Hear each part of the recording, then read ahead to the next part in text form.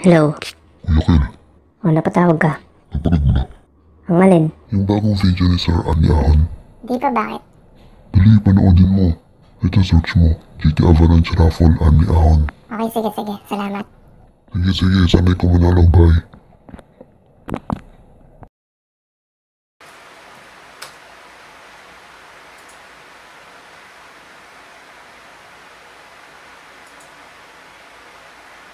Jack, gusto mo magkaroon ng ganitong bike? Kung oo, sagot sa tanong na yan, yan ka lang, huwag kang aalis.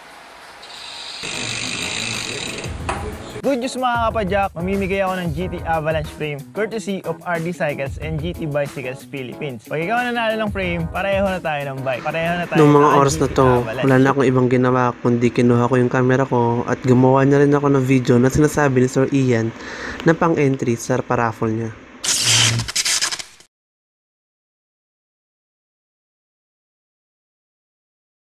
Matagal ko na kasi hilig yung pag mula nung bata pa ako ano, ah, hilig ko na talaga yung pagbabike kasi nag-enjoy ako tsaka nakakatawa kasi pagka pumapat siya. Tapos nung hanggang nung, duma- hanggang nung dumating nung high school ako, yung mga kaibigan ko, nakikwento din nila sa akin na nagbabike daw sila tsaka marami na daw silang lugar na napuntahan gamit yung bike nila. Tapos nung habang sila na nagkikwento sa akin, natutuwa naman ako sa mga kwento nila na tipong gusto ko na ma-feel ko rin yun na gusto ko rin sumama sa mga ride nila. Kaso ang problema, nung panahon na yun, wala akong bike. Balak ko rin kasi magpabili ng bike nun, kaso inuna ko muna yung pagtitipid. Bali, nag-ipon ako gamit yung allowance ko na binibigay sa akin, baon ko, tinitipid ko yun para na makapag ipon ako na pambili ng bike. Pero nung mga, habang kasi, habang tumatagal kasi pag-ipon ko, mas lalo akong na pupush na bumili ng bike. Tapos nung panahon na ang dami ng taga nilang lugar na napupuntahan, yun, doon na ako nagsabi sa magulang ko na, ma, bigyan mo naman ako ng bike, kahit dagdagan mo na lang itong pera ko. So yun, dinagdagan niya na magulang ko yung pambili ko ng bike. Tapos ito, nabili ko na yung bike ko, na nasa likod. Tapos, unang-unang, unang linggo pa lang na pagkabili niyan, kinausap ko na yung mga kaibigan ko, pre, samahan niyo naman ako sa UP Diliman. Testin natin itong bagong bike ko.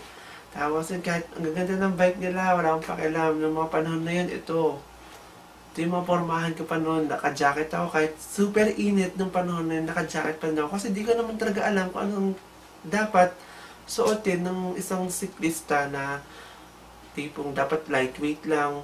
Wala pa akong alam nun, kundi ang gusto ko nung talaga noon, panahon na yun, makapag-ride. Tapos, habang tumatagal, habang tumatagal, yun, nalalaman ko na yung mga dapat gawin. Tsaka habang tumatagal, dumadami na rin lugar na napupuntahan ko. At dumadami na rin yung mga tao nakikilala ko habang ako ay nag-ride. Yung tipong habang nagbabike ka, ang dami mong pwedeng batiin sa kalsada na, Hi sir, good morning sir, good morning ma'am. Doon kasi halos lahat ng mga nakakasabay mo, mga siklista din na iisa lang din yung destination, destination na gusto niyong puntahan.